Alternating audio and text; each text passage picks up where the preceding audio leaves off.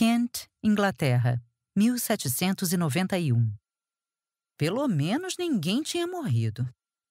Mas se não era isso, Nicholas Rokesby não fazia a menor ideia do porquê de ter sido convocado de volta à casa da família em Kent. Se alguém tivesse morrido, pensou ele, o pai com certeza teria mencionado o fato na mensagem enviada para Nicholas em Edimburgo. O recado fora levado por um mensageiro expresso, de modo que deveria haver certa urgência na questão. Mas se fosse caso de morte, Lord Manston certamente teria escrito algo mais do que apenas. Favor retornar a Craig com a maior brevidade. Sua mãe e eu temos um assunto urgente para tratar. Uh, sinto muito por interromper seus estudos. Com afeto, seu pai, Manston. Nicholas fitou tão familiar do céu de árvores e iniciou o trecho final de sua jornada. Tinha viajado de Edimburgo para Londres na diligência postal, de Londres para Maidstone, de coche, e agora concluía os últimos 25 quilômetros a cavalo. Finalmente tinha estiado, graças ao bom Deus. Mas os cascos da montaria ainda levantavam uma quantidade impressionante de lama e, em meio a respingos e pólen, Nicholas sentiu que chegaria a Craig parecendo um paciente com impetigo. Craig, menos de dois quilômetros de distância. Um banho quente, um bom prato de comida, e então descobriria, enfim, o que deixara o pai tão impaciente. Era bom que fosse algo bem sério. Não uma morte, é claro, mas se no fim das contas tivesse atravessado dois países apenas para descobrir que um dos irmãos ia ganhar uma comenda do rei, arrancaria o braço de alguém. E sabia muito bem como fazê-lo. Era requisito básico que todos os estudantes de medicina assistissem a cirurgias sempre que houvesse oportunidade. Não era a parte do currículo preferida de Nicholas. Ele gostava mais dos aspectos intelectuais da medicina, avaliar sintomas e resolver os enigmas sempre surpreendentes que levam a um diagnóstico. Mas já estavam quase na virada para o século XIX e era importante saber amputar um membro. Muitas vezes era a única arma de um médico contra infecções. O que não podia ser curado ainda podia ser amputado. Contudo, era melhor curar. Não, melhor mesmo era prevenir. Impedir um problema antes que ele começasse. Quando enfim avistou Craig, Nicholas revirou os olhos. Algo lhe dizia que o problema que o trouxera de volta a Kent, fosse qual fosse, já devia estar em uma fase bem avançada. E é claro que os irmãos não ganhariam comenda alguma. Os três eram cavalheiros exemplares, mas, francamente. Pôs o cavalo em um trote mais lento ao chegar à última curva do caminho que levava à casa. As árvores sumiram de sua visão periférica e, de repente, lá estava o seu lar. Uma construção grandiosa e sólida de dois séculos e meio, uma deusa de calcário emergindo do seio da terra. Ele nunca deixava de se impressionar com o fato de que uma casa tão imensa e ornamentada pudesse ficar tão bem escondida entre as folhagens, desvelando-se apenas no último instante.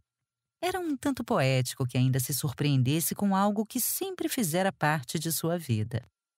As rosas da mãe estavam em pleno desabrochar, tons vivos de vermelho e magenta, do jeito que a família gostava. À medida que se aproximava, Nicholas sentia no ar úmido o aroma cada vez mais forte das flores, espalhando-se levemente por cima das roupas até chegar às narinas. Nunca gostara muito do cheiro das rosas, preferia flores menos cheias de frescura. Mas em momentos como aquele, tudo convergia com perfeição. As rosas e a névoa, a umidade da terra. Ele estava em casa. Não importava que não tivesse intenção de voltar, ao menos não tão cedo.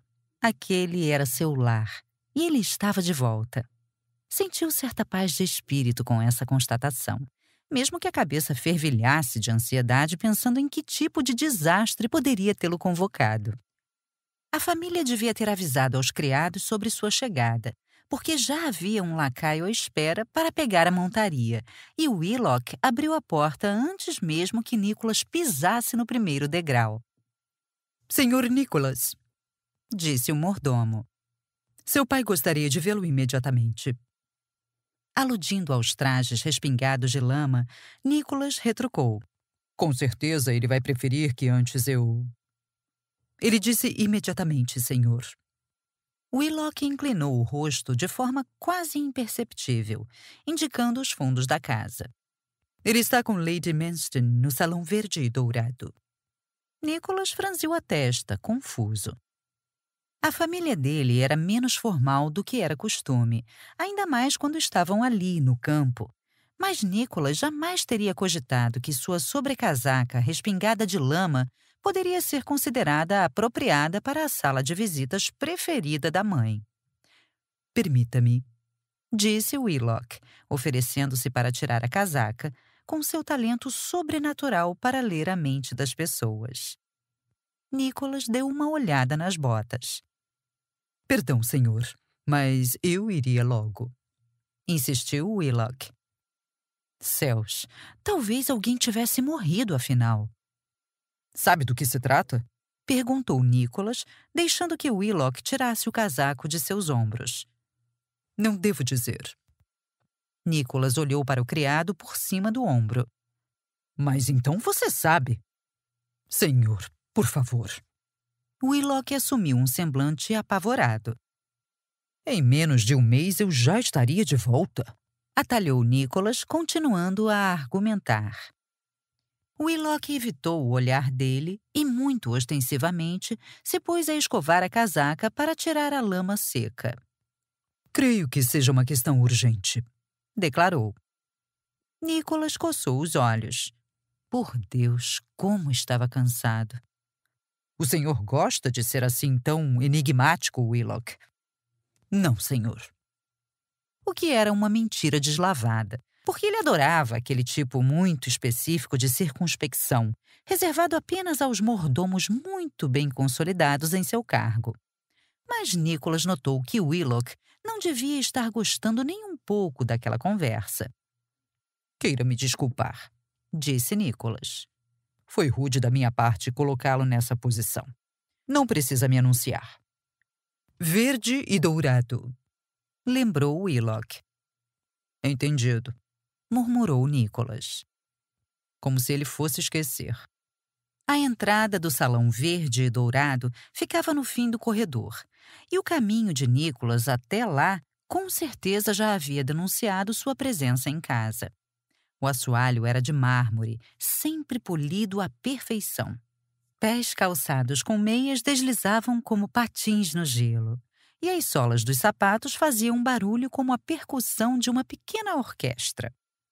Mas ao chegar à porta aberta e espiar lá dentro, nem o pai nem a mãe sequer olharam na direção dele. O pai estava perto da janela, fitando o gramado verde, a mãe estava no sofá verde-menta, acomodada em seu lugar preferido. Segundo ela, o lado esquerdo era muito mais confortável que o direito. Todos os cinco filhos já tinham colocado a hipótese à prova, saltando de um lugar para o outro, mas nenhum tinha conseguido chegar à mesma conclusão. Justiça fosse feita. Não chegaram a nenhuma conclusão confiável. Mary declarara que ambos os lados eram iguais. Edward observara que a única forma de ficar confortável de fato seria apoiando os pés em algum lugar, o que não era permitido. E Andrew pulara tantas vezes de um lado para o outro que acabara rasgando a costura de uma das almofadas do assento. George declarara que todo aquele experimento era ridículo, mas não sem antes fazer ele mesmo um teste perfunctório e quanto a Nicholas, ele não tinha nem cinco anos quando esse experimento familiar se deu. Mesmo assim, sentou-se nos dois lugares antes de se levantar e declarar: Bem, não há como comprovar que ela está errada. Depois ele se daria conta de que a afirmação valeria para uma grande parte da vida. Provar que algo estava certo não era bem a mesma coisa que provar que o oposto estava errado. E se o lado esquerdo do sofá deixava a mãe feliz, quem era ele para contradizê-la?